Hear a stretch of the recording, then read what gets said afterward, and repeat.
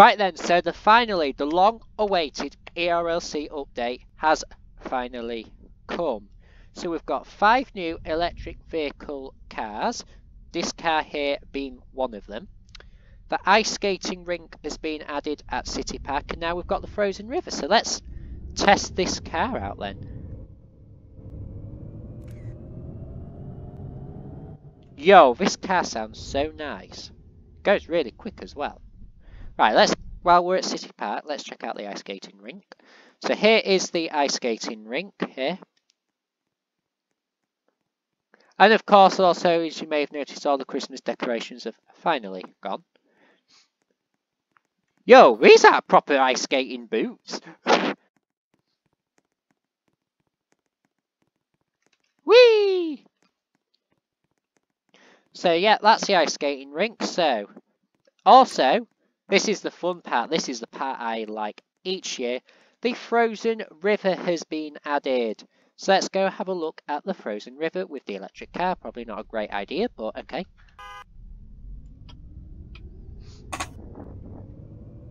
So, head down. As you can see, the river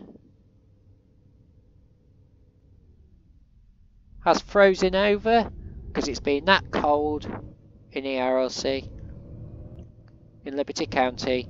It's been that cold that the river has gone, whoo, let's freeze. So it's now frozen over. But the main part is this electric vehicle car, which is really, really cool, like I showed you on the earlier. Oof. Yo! The charging points look ace. This has to be, by far, one of the best updates ever to ERLC. And look, I'm even drifting on the ice. So yeah, this has to be far, by far the best update we've had to ERLC for a very... Yo! Even the ice breaks! Yo! That is cool. You broke it! That is really, really cool. The river's frozen and the ice breaks. Now that is cool. That is really, really cool. I quite like that. So yeah, very, very quick update, just showing it off. And I hope you've enjoyed it. And we will see you in the next one. See yas. Alex, I thought you saying bye then.